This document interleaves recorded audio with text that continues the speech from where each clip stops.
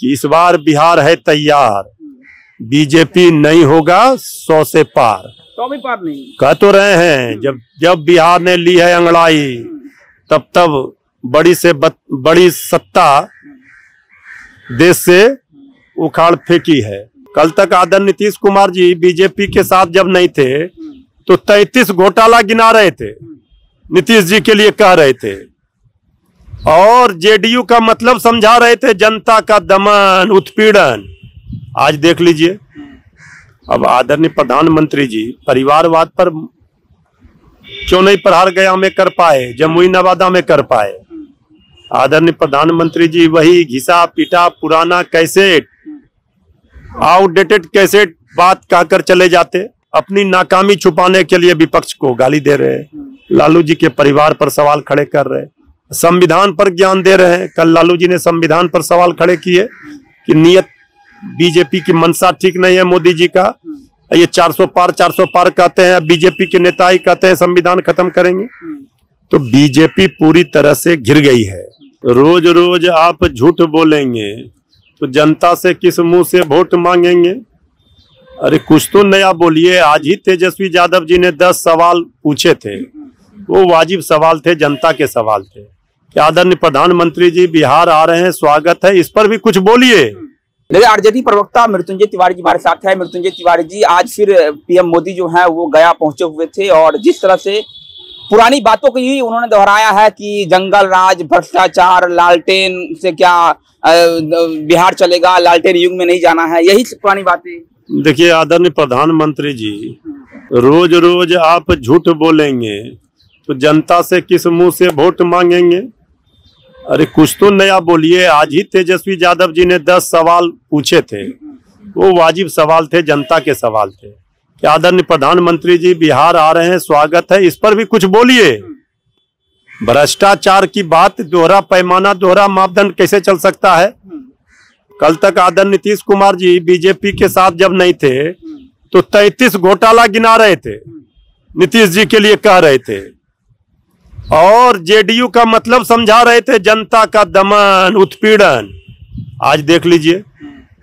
अब आदरणीय प्रधानमंत्री जी, परिवारवाद पर क्यों नहीं प्रहार गया में कर पाए, जमुई नवादा में कर पाए? आदरणीय प्रधानमंत्री जी, वही घिसा पिटा पुराना कैसेट आउटडेटेड कैसेट बात कहकर चले जाते। और वो याद दिला रहे हैं, बीस साल पहले की बात। अरे बीस साल तो अभी डाटा है एनसीआरबी का। उसमें दो, उन्नीस सौ नब्बे से 2005 तक और 2005 से बीजेपी जब तक एनडीए शासन रहा, देख लीजिए, उसमें पता चल जाएगा किसके राज में मंगल राज था, कौन सा जंगल राज था।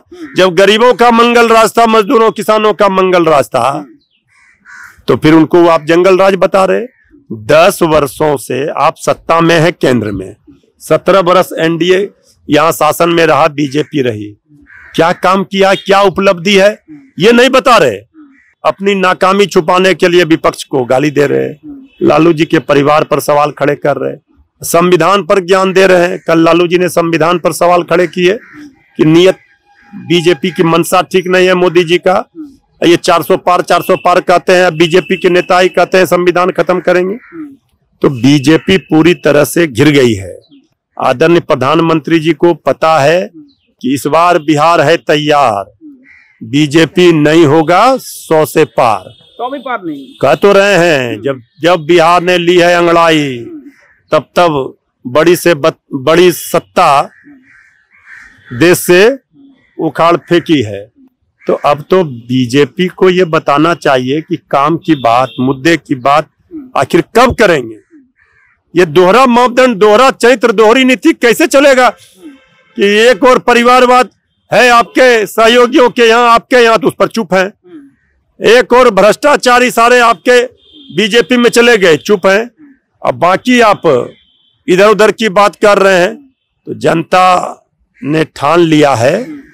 मोदी जी को अब चार जून को पता चलेगा कि इस लोकतंत्र में जनता की ताकत क्या है? ये देश की जनता बिहार की जनता का संकल्प है कि भाजपा को हटाना है देश को लोकतंत्र को संविधान को बचाना है। अंत में और रहेगा बस। कि बस राजद जो है मोदी जी बोले हैं कि आरजेडी वाले नीतीश जी के काम अब वोट मांगते हैं उनका खुद का काम नहीं है। अरे ये सबको पता है जब तेजस्वी यादव जी ने कहा दस लाख नौकरी देंगे तो यही आदर नीतीश कुमार जी ने कहा था कि कहाँ से पैसा लोगे?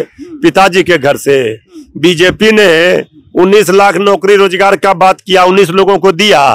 तेजस्वी यादव सरकार में आए तो पाँच लाख लोगों को सत्रह महीने में नौकरी देकर विश्व कीर्तिमान स्थापित किया। हिम्मत है बोलने का। किस मुँह से बात कर रहे हैं आप? नीतीश जी ने काम किया तो कल तक जो आप नीतीश जी की बखिया उ- उधेड़ रहे थे तो उस समय गलत थे कि अभी सही है?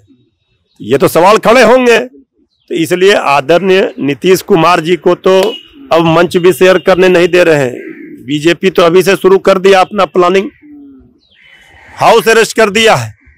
क्यों नहीं जेडीयू के लिए वोट मांगने गए पूर्णिया तो क्यों नहीं आदर नीतीश कुमार जी गए मंच शेयर किया?